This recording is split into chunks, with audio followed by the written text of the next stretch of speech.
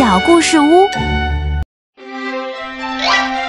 看看太阳，辨别方向。蔚蓝的天空中飘着朵朵白云，远远望去，白云中间出现了一个红点。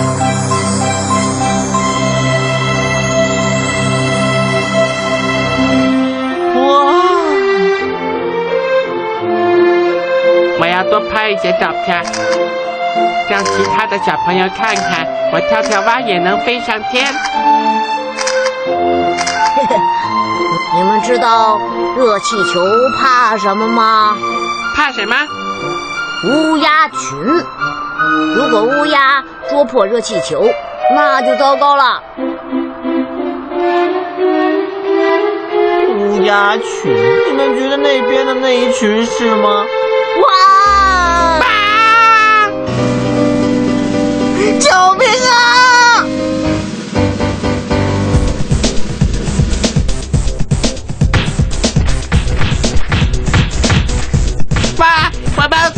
别乱动，我们会掉下去的。快蹲下，大家别紧张，只要乌鸦不把气球戳破。哇！这下糟了！何仔说：“你说话这么准，以后不要乱说话啦。”我们现在怎么办？办法只有一个，那就是救命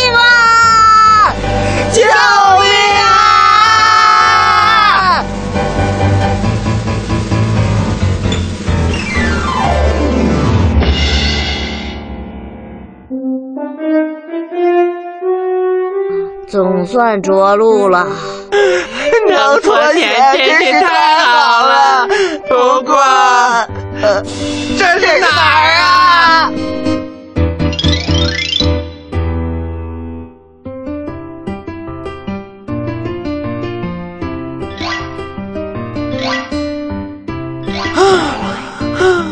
哎呦，怎么走了这么久还是草啊？王帽子，一定是你带错路，听我的，朝后走，准没错。好，跳跳蛙，我就信你一回。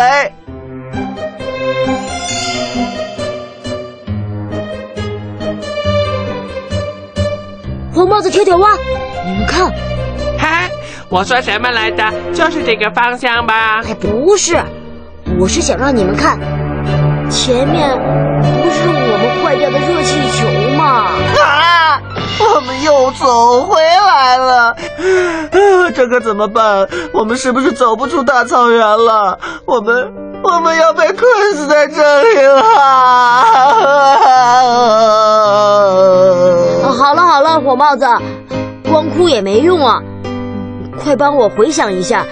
嗯，咱们是不是从北边的城市乘热气球飘来的？这有什么用啊？这都是草，谁知道哪儿是南，哪儿是北呀、啊？妈妈，我要回家。我们知道，我们可以看太阳。太阳？没错，现在是傍晚，太阳要落山了。你们想想。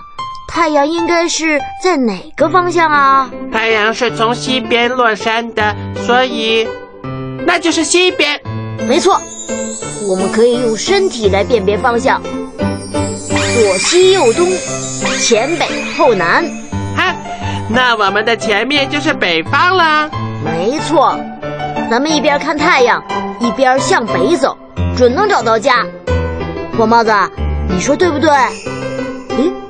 咦？嗯，火帽子呢？别说了，还是趁着天还没黑，赶快走吧。哎，这个性急的火跑跑。好了，跳跳蛙，咱们也赶快走吧。就这样，当最后一抹阳光消失在天边，三个小伙伴终于走出了草原。太好了，我们终于可以回家了！耶！是啊。回家的感觉真好，从这里看城市的灯光好美啊！没错，真是太美了。小朋友，你知道什么是方向吗？有了方向，我们才能判断出不同的位置哦。那么，如何辨别方向呢？太阳是我们辨别方向的一个很棒的办法。你学会了吗？让我们一起来说：左西右东，前北后南。在小故事屋，每一天都有新故事。想和我们一起成长，一起快乐，就请爸爸妈妈帮你订阅吧。我们很快会再见面的。